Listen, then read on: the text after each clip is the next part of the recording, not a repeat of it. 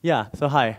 Um, so Niels and I began this project about, I don't know, three quarters of a years ago to try to improve the culture of the Debian Mentors mailing list. And mostly I'm just going to talk about what we did and why. And afterwards in Q&A, I can talk a bit more about how it applies to other projects or what we were inspired by. So uh, first, uh, hopefully you all know what you've gotten yourself into um, by coming here. If you want to reach me, you should email me as, as asheesh at asheesh.org, or I'm Paul Proteus on IRC and at Debian. And this is me. Uh, I want to know a little bit about you guys, I guess. Can I get a mic runner? Uh, like, for you folks, are, can I just get some introductions as to why you came to this talk, uh, or your relationship to the Debian Mentors list? Someone give me a hand. I know who I am. He knows who he is. Great. I wouldn't go so far as to say I know who I am, but I'm actually organizing a sponsors BOF tomorrow at 5, so I'm trying to think what to minimize overlap or hmm. somehow. Oh, yeah, I'm, I'll be there. Right. So, so you asked why I'm here. So I'm sorry it's a boring answer, but I'm here to make sure that our two things go together well. Cool. Anyone else? Like, yeah.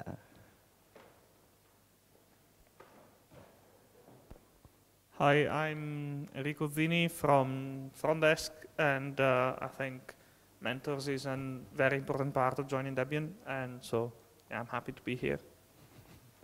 Cool.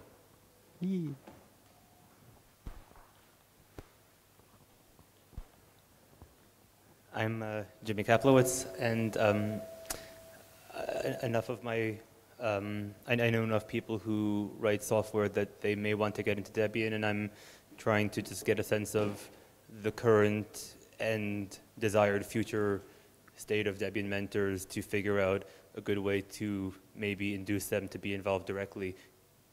Cool.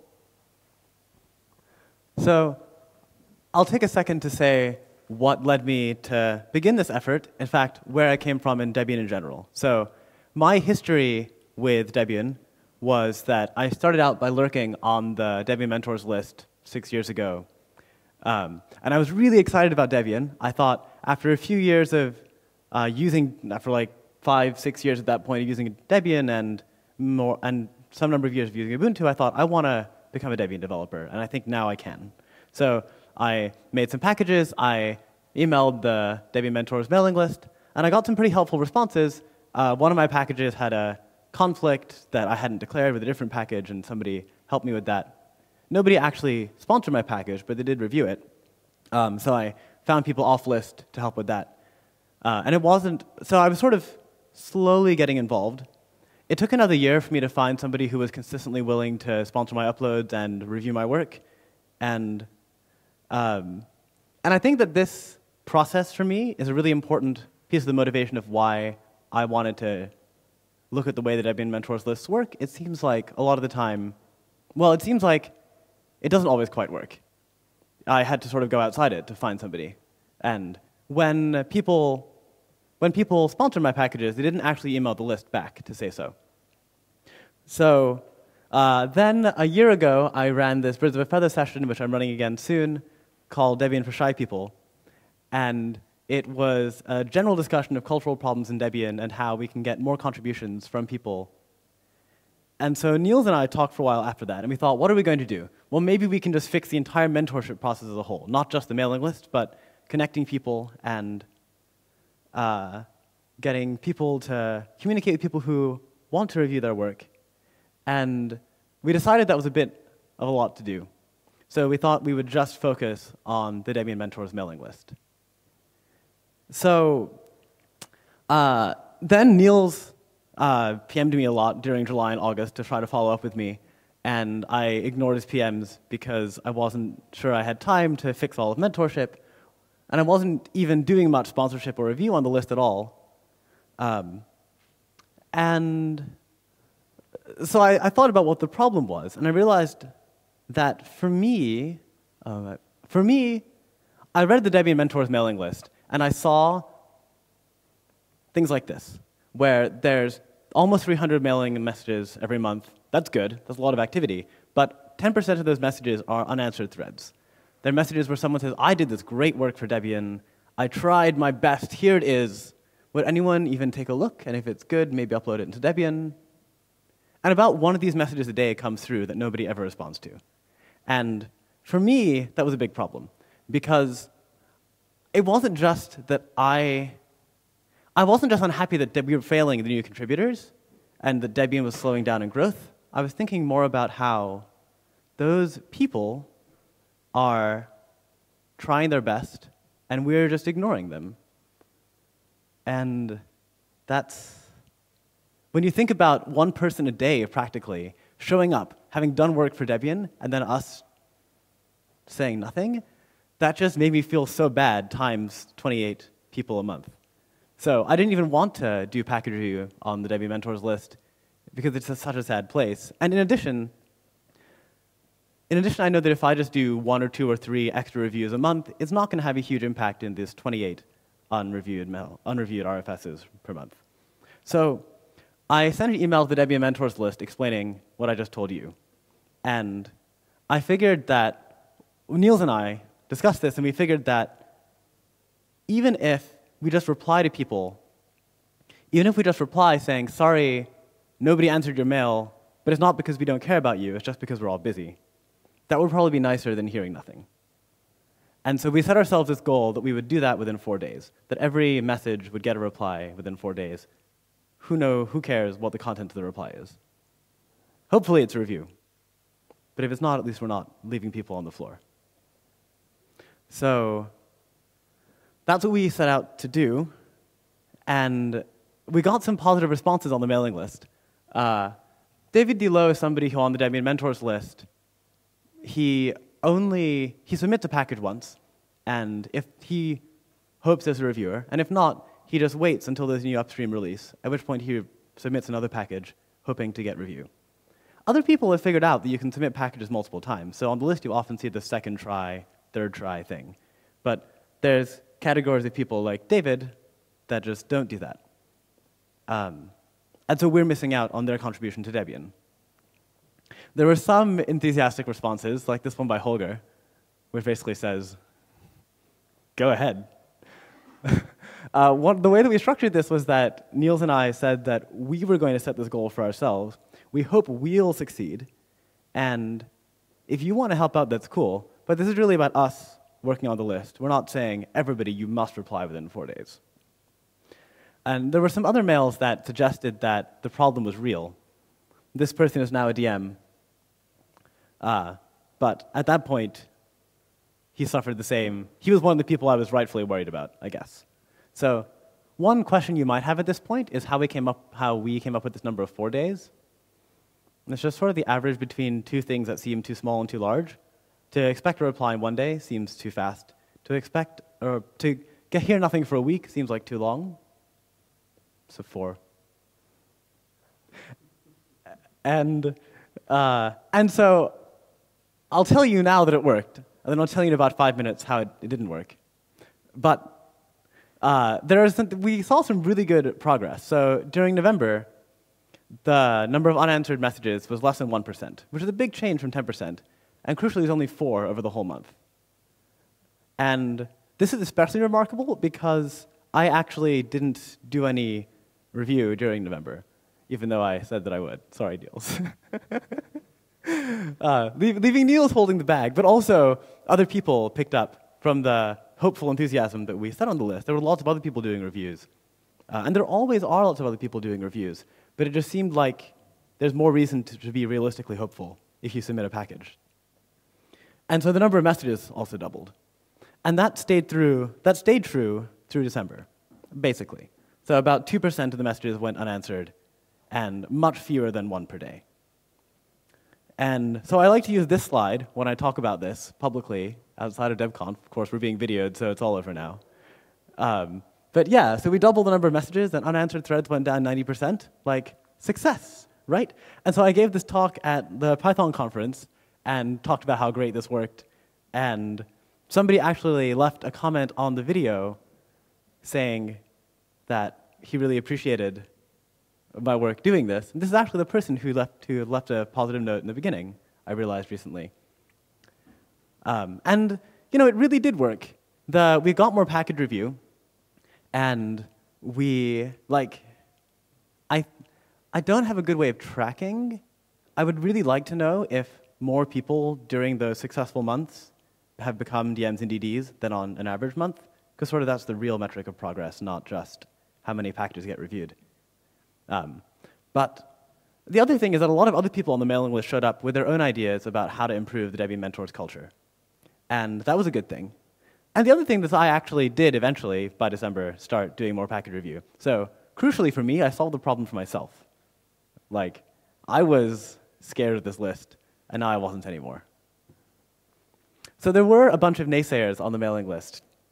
Um, some people talked about how the, the well, Pabs in particular said that we need more people willing to do review. We can't just solve the surface level problem of people being scared of the mailing list. Um, Michael Tautschnig, I think is how you pronounce his name, talked about how we need to get, we, we can use the Debian uh, mentees themselves as reviewers. And that was a really good strategy, and it's actually worked really well. He's been apparently, the one, there's been this huge surge in review traffic recently on the list, and that's from his mentees. Um, but I do want to cover some of the ways in which I failed. So, the, I talked about how great it was that we decreased unanswered threads by 90%, but by December, it was going pretty well. By January, it's back up to almost one per day. And actually, in February, it's even worse than it was in September. 40 unanswered messages. Um, we got more traffic, but somehow lots of unanswered mail still. And yeah, that continues through March. Um, I think that the big reason that we that this we lost the momentum that we gained was that well there were two. One is that we stopped saying we would succeed, and the other is that we didn't actually succeed. I think that if we had if we set ourselves this four days goal again and tried to and hold ourselves to it and announce it and maybe maybe make it part of the FAQ that you should ping the list again when your mails don't get an answer in four days. And mentors, you should make sure that people get an answer in four days. I think we can go back to the November and December figures.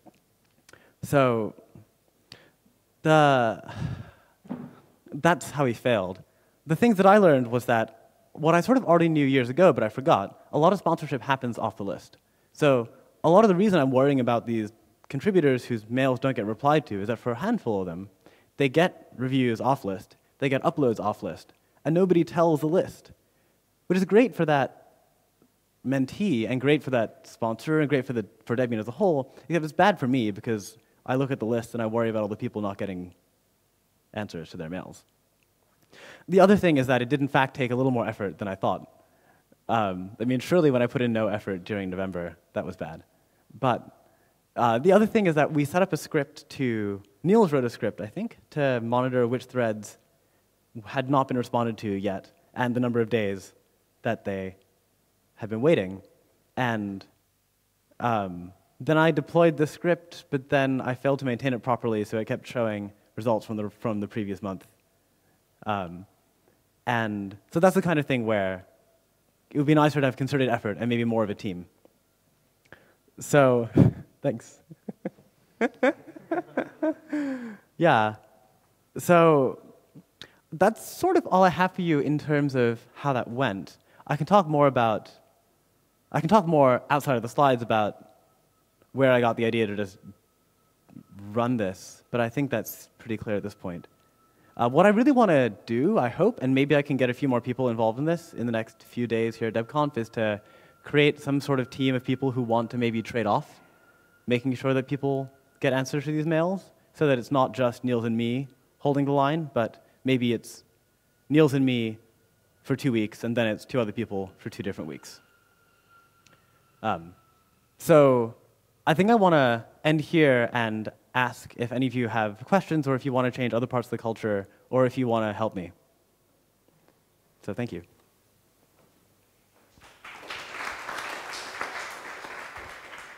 Well, um, first, thank you for your effort. I mean, that's really appreciated, I think. Um, I personally have problems with the Debian Mentors ma mailing list because uh, it has too high traffic. I mean, it's more than 15 to 20 mails to read a day, and that's, I think, something like 8 to 10 packages that have to be reviewed every day, so it's, it's huge. And I, I wonder ab about the idea of refactoring the whole mentoring process, because you said that when someone comes to the Debian Mentors mailing list with a package and with some work, that's work for Debian.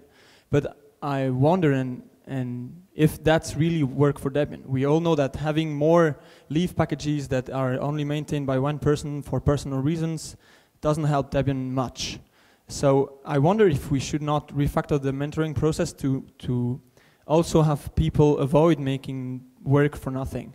So because uh, if we know from the start that, well, packaging this is not useful any, in any case, or you should do this in a team uh, in which you can get sponsorship, uh, for your package that helps much even before the, the work on the package has started.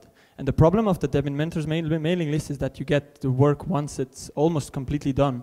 And this filtering process and directing people to teams and maybe just tell them, well, you should not package this or something more pol polite.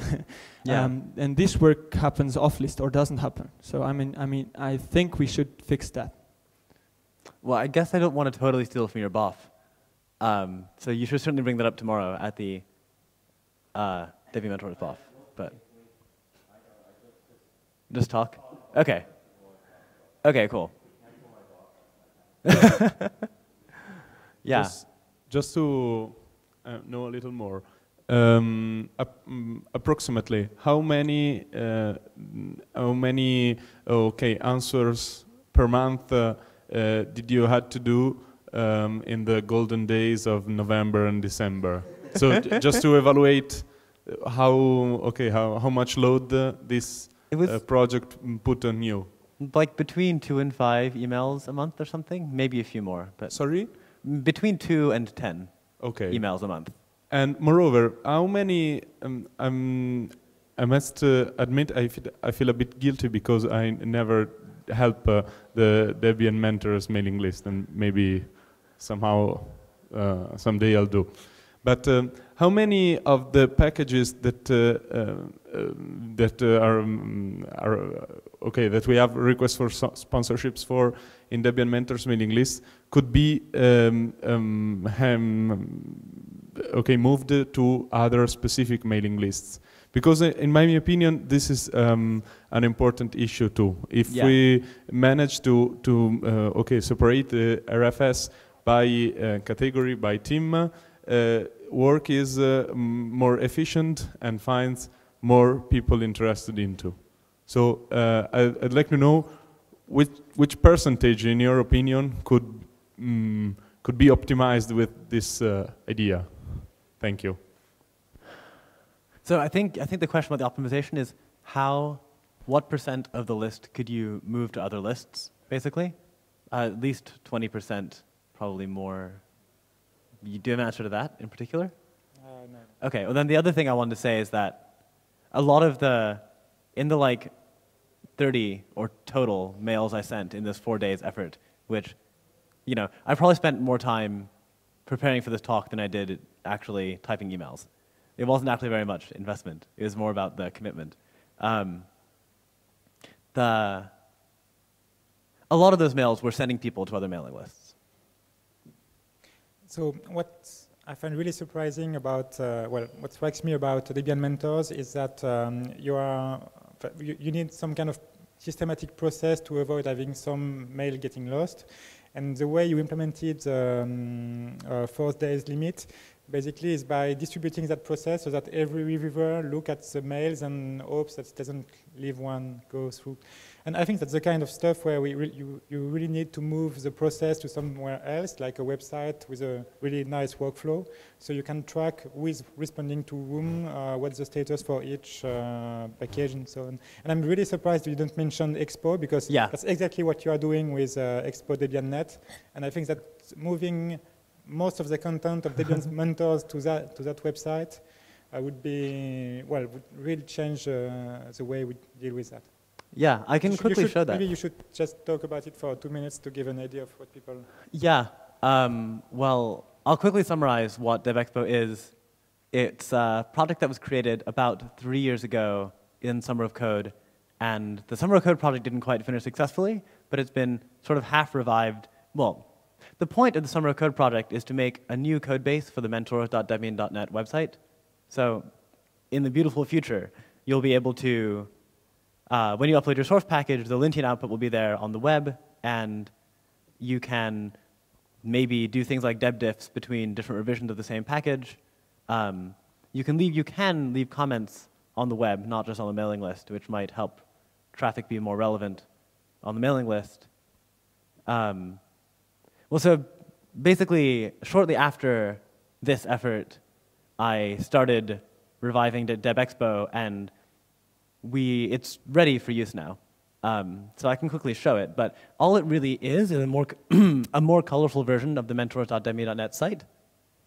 It does have a few new features, like you can leave comments on a package on the web, and the linting output is on the web, and there's a few other quality assurance checks. But the other exciting thing is that the code is actually maintainable. So it's really easy for people to add new quality assurance checks that are part of the package upload process. And we could, if we want to, move a lot of package review to that. And you could just leave comments on the web. We could even have the unpacked source tarball be viewable on the web so that you don't have to dget at all. You just, to review, you just read what's there. Um, I don't know if people want to alter the mentor's workflow that dramatically, but maybe they do.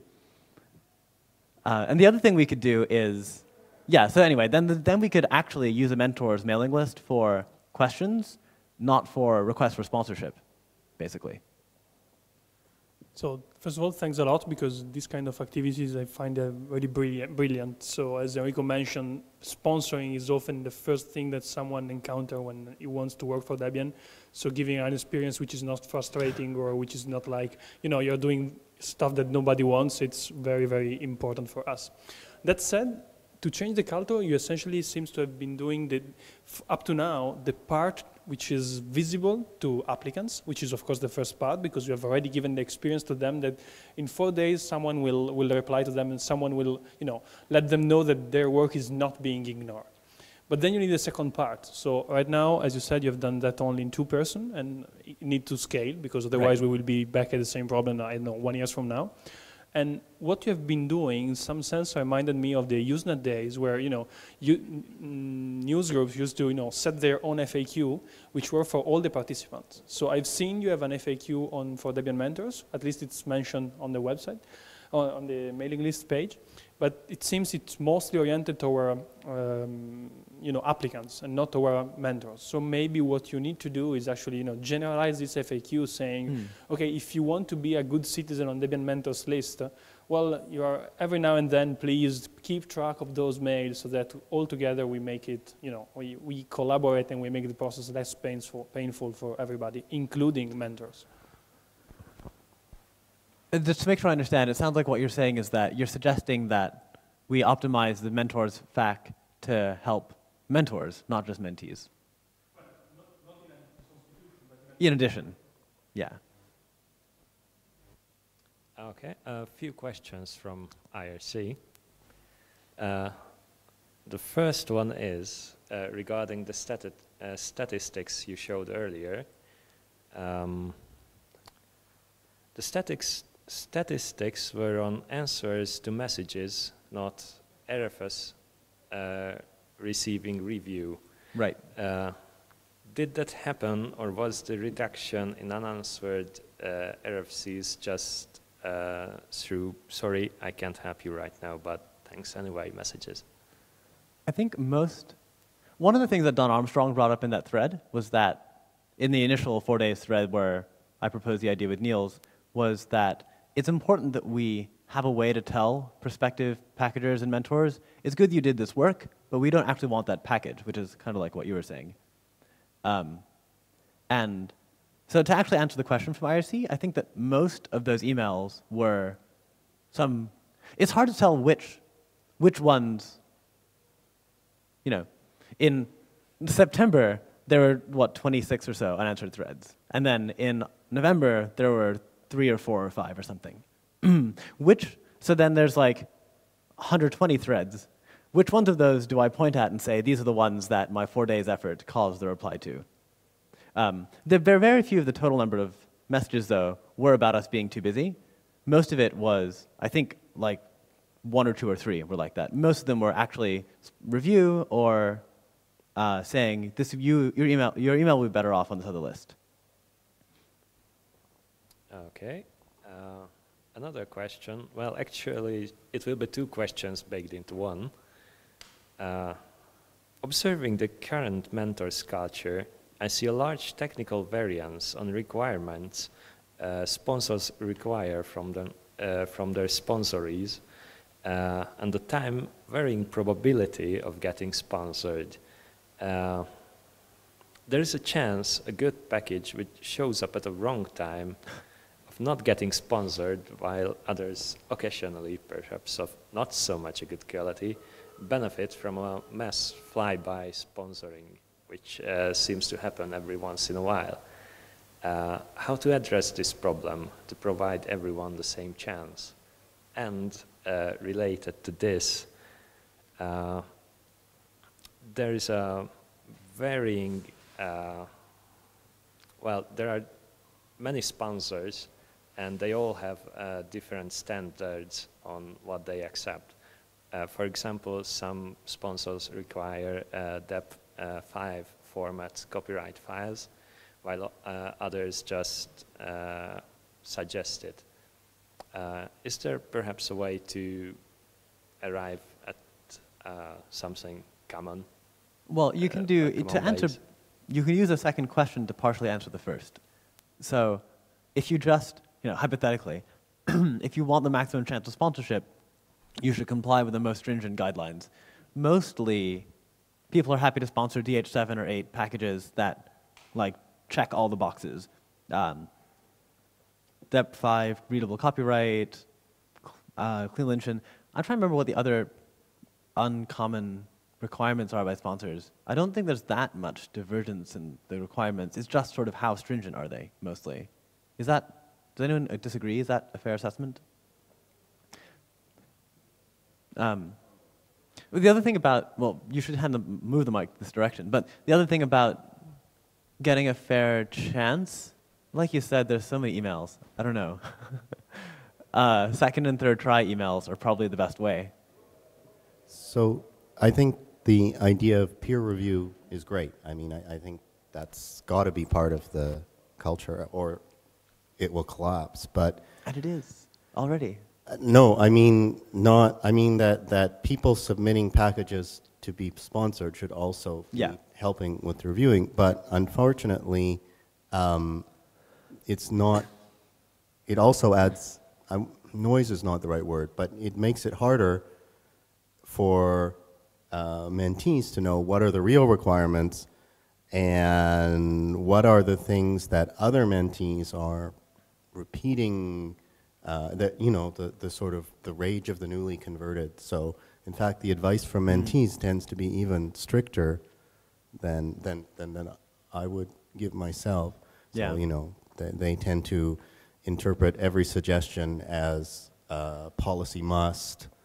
And so, so I mean, I, I don't know what the right answer is, but, it, but it's part of what's going on here, it, the, the, the feeling of, you know, a plethora of requirements that, that mentees are seeing. So I can give you an, uh, let me tell you about how a different project handles this in a way that Debian probably will never accept. but works pretty well for them. So Maemo, Maemo, Maemo, uh, they have an extras repository, and in that repository, anyone can submit packages. Your, um, they have a review process though, like sort of like what we do. Um, theirs though is very clear. So when you submit a package, there are some clear rules as to when it will migrate into the actual extras repository uh, and out of the staging ground. Those rules are it has to have been there for 10 days, it has to have a karma of 10 or higher. And a karma means, a karma is a review of somebody, a user actually, trying the program, trying to install the deb, uh, running the program, making sure the program actually works. And that's not a package quality, quality required check so much as it is, is a well, it's not about the details of the package quality so much as that the package at least works. Um, and you have to get at least 10 upvotes to meet that jump. And the other is that you have to have three people who are actually on the QA team of Maemo extras to give you a plus one. So the, I met the, one of the people who's involved in Maemo and, in October, and he was super enthusiastic about this really clear mechanism. And of course, we have nothing like that. Um, so yeah, obviously we should just say, if your package has been on mentors.debian.net for 10 days and it's had 10 positive votes, and at least three developers say, this seems okay, it should automatically move into unstable, right? Maybe not. So um, the Debian Mentors mailing list is, is really for review of packages, packaging, or is it better done elsewhere? I mean, the mailing list doesn't seem like a great place for coordinating reviews in an efficient manner. I mean, if I was going to review a package, it might take me a day or two, and in that time somebody else might be re reviewing it as well, um, maybe it would be better if we were both reviewing different packages and we wanted some coordination between us. And is, does, is that sort of thing a problem? I don't really think so. I mean, sometimes people say, I'll review this, and then they review it in a day or two. Right. But what do you guys think? Sorry the latency is so high with the mic. So essentially, you're making a point of the risk of some race condition. But actually, if you have two concurrent reviews, it's not necessarily bad. Mm. I mean, you're right. You're right. I'm going to confuse the video team dramatically by. So, is this mic also on? That is an ambience mic, just for Ah, okay. ambient noise, and it only goes to the stream, not the speakers. Then I wonder if people can share my headset mic, and then we can have two simultaneous mic things. Don't- Okay. We can move the mic around. But Okay. the other question, in terms of your statistics, um, Yeah. when uh, you were saying mails were unanswered, I assume that you cut off four days prior to the end of the month.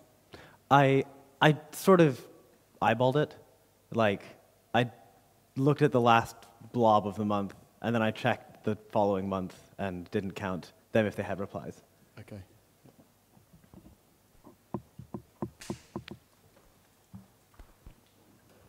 I just uh, took a look at the REVU tool from Ubuntu.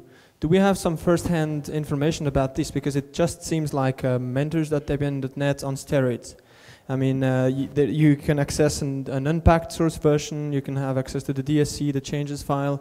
Uh, you can comment on, so and you can mark the package as reviewed once, as advocated, etc. So, I wonder if we could just, or additionally adopt this tool for us or for our needs, because uh, it just seems like uh, it's collaborative review, and you can add comments specifically on packages, on files, etc. So, I wonder if we have some more information on the fact on if it's doable or not, and by whom. Do any of you have first-hand information? Otherwise, I can relay second-hand information. In practice.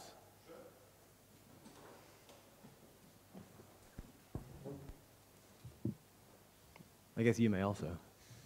You may also have used REVU. No? Okay. Right. Um, so REVU doesn't work very well in practice because in Ubuntu we don't have enough people reviewing stuff on REVU. And people, some people are very persistent and keep coming onto IRC saying, can you please review my package? And often it's a package that we really don't want in the archive. We, well, it might be okay in Debian, but there's, there's no particular reason to get it into Ubuntu where no one's ever going to maintain it in the future. So these packages go without review for years at a time, and it's probably pretty demotivating to everyone involved.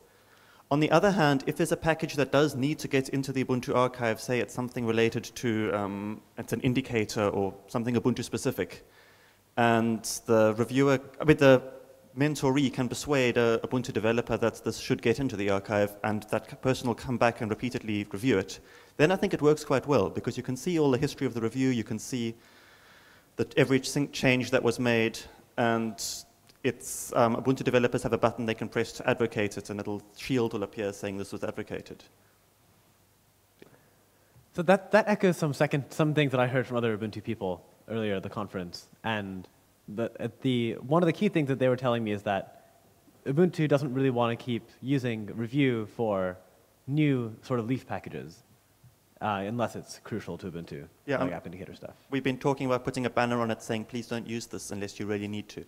Yeah. Um, something else about it is because the comments on it are restricted to the website and aren't on a mailing list, you just don't notice when new packages appear unless you go looking for them. It might be really useful to bridge website comments with a mailing list somehow. So, um, so debexpo does about half of that. You can see it at expo.debian.net. Um, I can show you. It's going to be kind of wobbly, and let's see.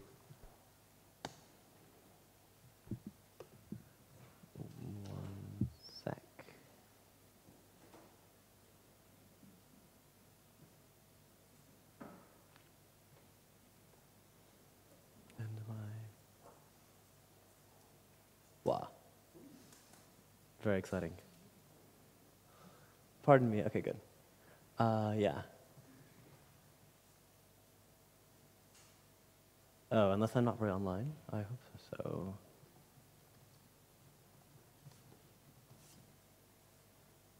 And this is the part where my privacy related proxy settings slow me down. So I disable them. There. Yeah. Uh, the look is likely to change, um, but the difference between this and mentors.debian.net in particular is that this is maintainable, so we can add features like that to it. Um, what I've wanted to do is bring this up to the point where we can deploy it to replace mentors.debian.net. Um, and it's basically at that point now I need to finish figuring out exactly what server it'll be on.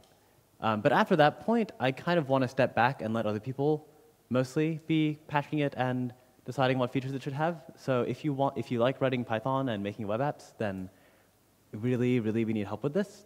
And I'm also very willing to tell people exactly what lines to change or what part of the code to change, and I will deploy patches quickly.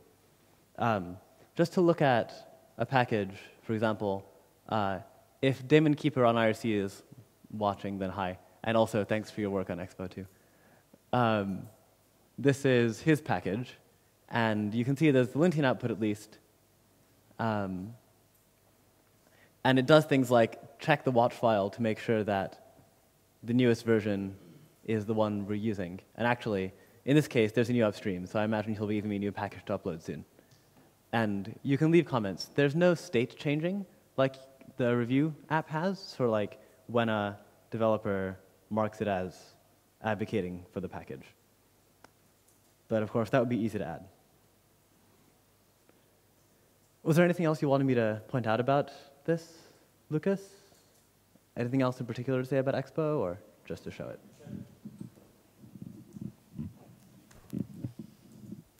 Besides, it, look, it looks really promising. I don't have anything else to, to say. Yeah. Lucas also proposed a feature which I really hope somebody is willing to implement, and if you are, then I will find you. you Well, why don't you talk which one it? were you going to talk about? Why don't you talk about both then? Okay. So the first thing that I'd like is um, currently we have uh, something like Debian mentors on one side and teams on the other side. And in most teams, uh, the reviewing process is suboptimal. Means people uh, ask for sponsoring and then get um, get forgotten, even on teams. And it would be nice if uh, actually team could, teams could use Expo uh, to manage their own sponsorship uh, queue.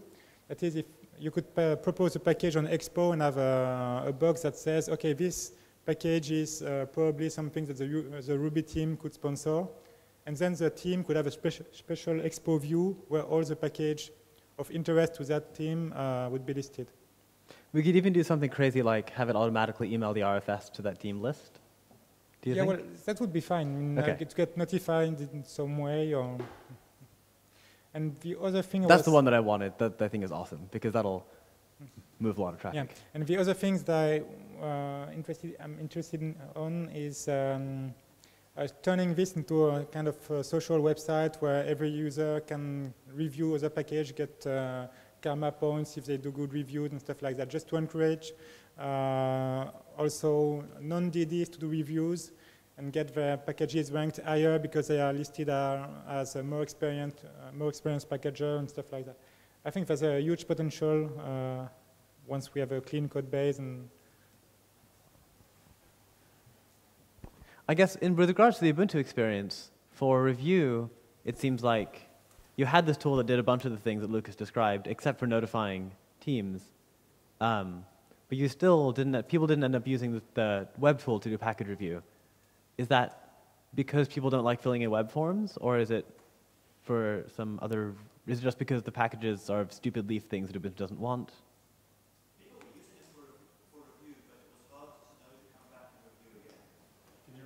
Yeah, uh, he just said that people were using REVU for review, but it was hard to know to come back again. Apparently, I have a minute, but you Um, won't.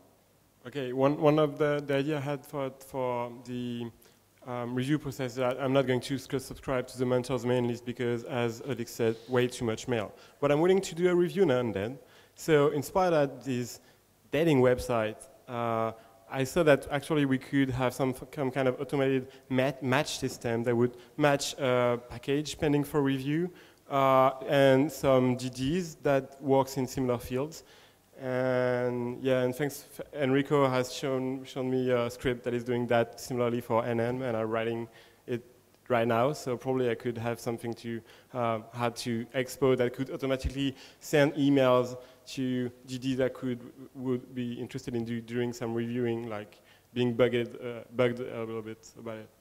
That, that's one idea the, to encourage the process. Yeah. While, walk the, while you walk the mic to Pabs, I hope you will, unless we're out of time. Um, you can imagine on Expo signing up to say, I'm willing to be randomly assigned one thing per week. And then it'll email you in particular. So, so Jeremy's idea was basically one of the reasons that debexpo was started, so we could add that sort of thing to mentors, which wasn't maintainable. Right. And Pabs is one of the people who has been working on Expo here and there. So thanks to him too. All right. Thank you, Asheesh. Thanks.